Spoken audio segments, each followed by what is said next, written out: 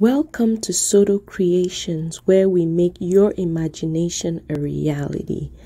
My name is Jufo, and today I am going to show you how I put together this beautiful floral arrangement for the backdrop.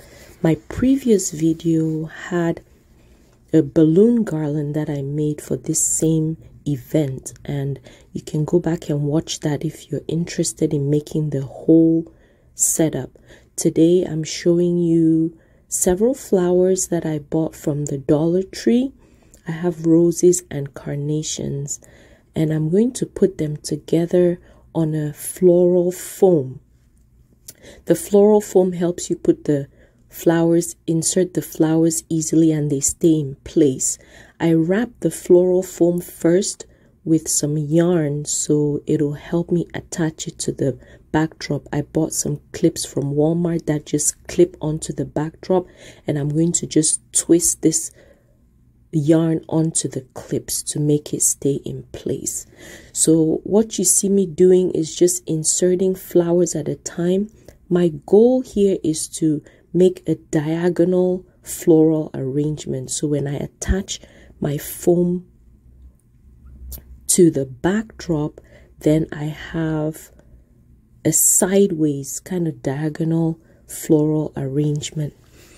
One thing that helps with the foam being on a flat surface is that when you're inserting each of the floral stems, you want to make sure that you're not going past that foam to the back because the the the hard surface or the the table acts as my backdrop and that's what I'm using to just set up all the flowers. I decided to make this floral arrangement by color in such a way that if I put a line diagonally and you'll see that towards the end if I put a line diagonally in the middle to divide the floral arrangement in half you'll notice that one side somewhat mirrors the other. So I'm just inserting each of the flowers, making sure that I cover all of the floral foam. You'll notice on some I have to cut the stem shorter.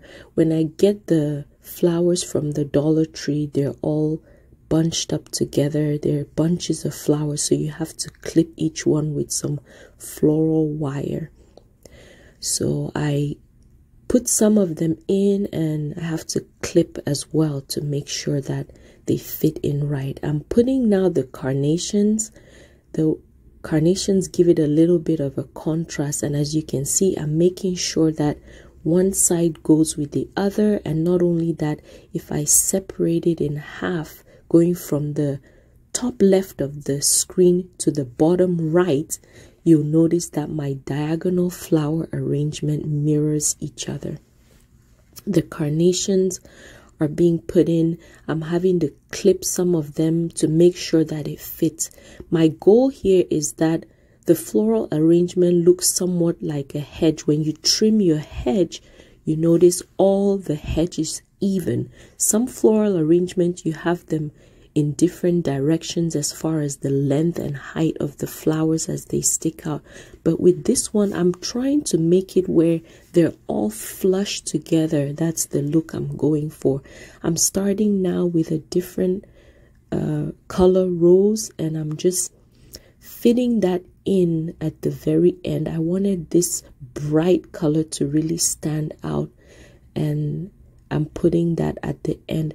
I have to bend this one because we're at the point where you can't really see those flowers if they're just sticking out. So I'm folding it and you see here in just a few seconds how I bend the wire right there to make it really as I put it in then it sticks for it shows forward so looking at it from this view you can still see the rose we continue to the other side. I'm using the same roses, bending it again and just fitting it to make it match the opposite side.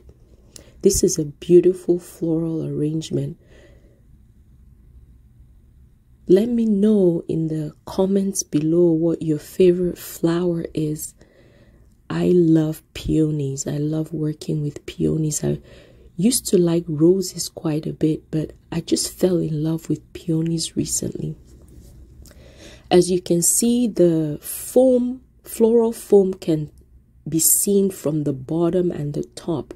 So now what I try to do is put some flowers on the side. So when I attach this floral arrangement onto my backdrop, if someone walks in from the left or the right or someone who is even shorter than my backdrop looks up up they're not to see this foam floral foam that I used to attach. It's to look as though the flowers are growing out of the backdrop and that's what I'm doing just filling. The good thing with these flowers is that they're it doesn't take much to fill up the space you need you can see I take two or three put it in and it fits just fine I'm cutting the stems even shorter than I've been cutting all the other ones and it's working out just fine I promise you I did not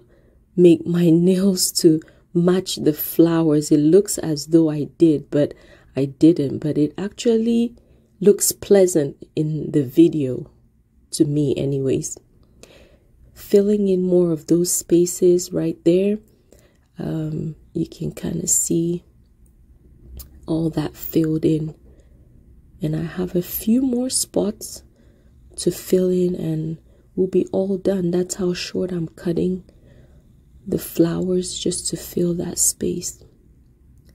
Again, I'm showing you how I do that and it took about two roses right there. I'm adjusting that one just to make it cover that space and it does. I have another place to fill up right there. We'll work on that right now. Please let me know if there are other decor things you want me to record. I decorate for all types of events and I make floral arrangements. I do balloon garlands. I do drapes and all kinds of decor related things. I even make gift baskets as well. So please let me know what type of things you imagine creative wise and I'll bring it to reality through my videos that you watch. And here we have a few more spaces to fill just to make it look nice. I'm just arranging each of the flowers and filling it in.